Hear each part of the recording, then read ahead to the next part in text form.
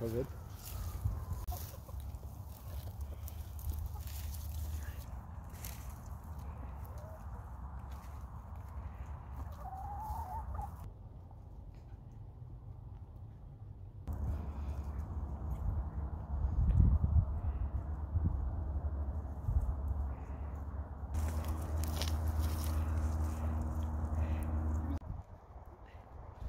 Bo, that's treats for the chicken.